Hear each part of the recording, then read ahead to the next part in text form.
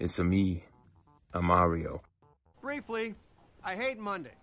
Uh, where you're supposed to be? Give me some lasagna! Tits off, bro. Just you and me. Jumping jacks, hit him. One, two, three. I am so pumped up! Hey, none of you guys don't sound like Chris Pratt. You sound like poorly aged bootlegs. Wait, is that Garfield?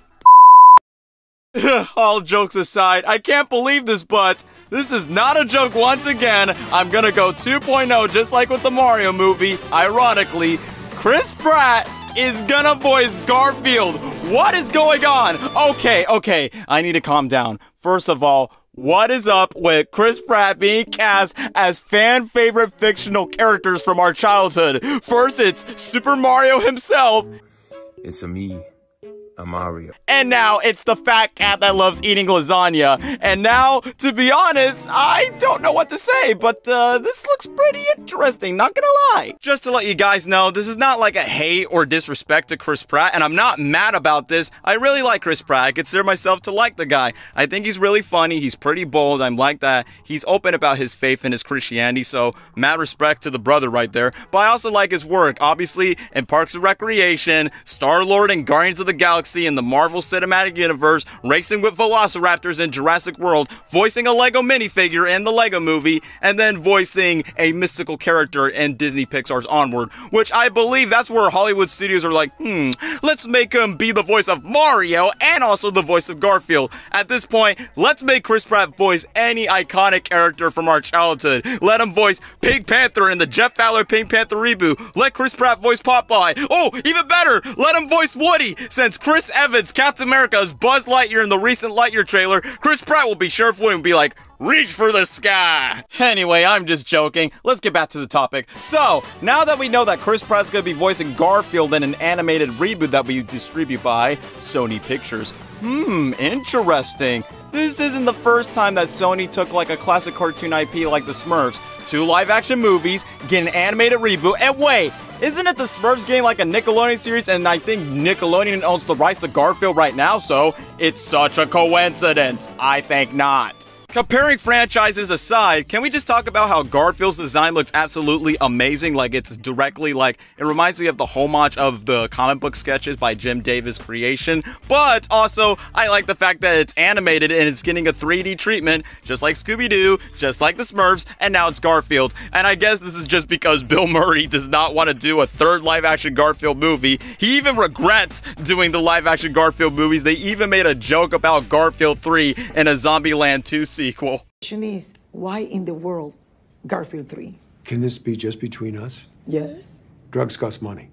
For a parody skit like that, it makes me think of, hmm, if Bill Murray doesn't want to do Garfield 3, let's reboot Garfield to animation, but uh, let's hire the guy who's currently gonna voice Mario for the anime movie. Yeah, I like that Chris Pratt guy, let's cast him. I bet that's how the casting choice goes. Even though we already get the idea that Chris Pratt's gonna voice the iconic cat, let's just read the synopsis.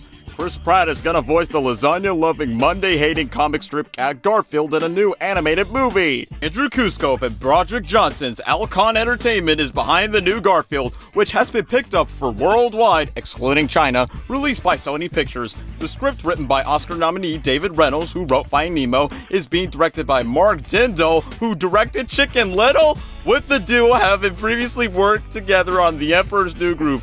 You're telling me that this new Garfield animated reboot is made by the same guy who gave us Chicken Little? He's the greatest dancer, oh wow, wow, that I ever seen. If this animated Garfield reboot eventually has like bad quality taste, then it might be a guilty pleasure like Chicken Little, or it might be something extremely hilarious like Emperor's New Groove like these guys have made before. So overall, I'm actually pretty interested. I think Chris Pratt can actually do the role pretty much fine, so I definitely have faith that he can actually like nail the voice. Heck, he even rock a Garfield body before when he used to be fat and lazy like Mario, no offense, until he beef himself up to be a guardian. I'm just saying, if Chris Pratt doesn't go out too well for Garfield as well as Mario, I think Bowser himself, Jack Black, has a message for him. Hey, Pratt Pratt, I'm coming for you. Yeah, Bowser, gonna eat you whole. I'm gonna barbecue you and then eat you. Barbecue chicken. Till this day, who would have thought that Nacho Libre would be Bowser? I mean, what's the next weirdest casting consideration from an A-list fan favorite actor, but eventually get to play another iconic fictional character? Wait, what? Marvel rumor Jim Carrey to play with MODOK. Oh, come on! Give me a big fat break! Anyway, I need to talk about that for some other time. So overall, what are your thoughts on Chris Pratt voicing Garfield after being announced to be a part of this animated Garfield reboot? Do you think Chris Pratt will fit for the role? Do you have hope for the movie? Or are you gonna be like, Oh, this sucks. I don't like Chris Pratt. Oh, this movie's gonna be trash. Even though he's gonna suck as Mario anyway. okay, well, opinions, opinions. It's fair, it's fair. But overall, I'm just gonna wrap up this video right now because I'm definitely gonna need a briefer to relax. So, thank you guys so much for watching this video. I'll see you guys next time. Take care now. Bye bye then.